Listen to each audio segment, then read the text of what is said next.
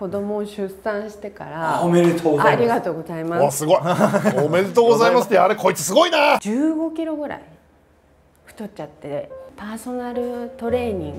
2日目の日にもうパンケーキあの爆食いしちゃって。トレーナーさんに出す食事記録は改ざんしちゃうし 芸能人の人とか出産してもすごい。芸能人は芸能人、はいめぐみは？めぐみ！痩せたいんですよ。3歳まではい。お子さんを育ててるのがはい。偉い、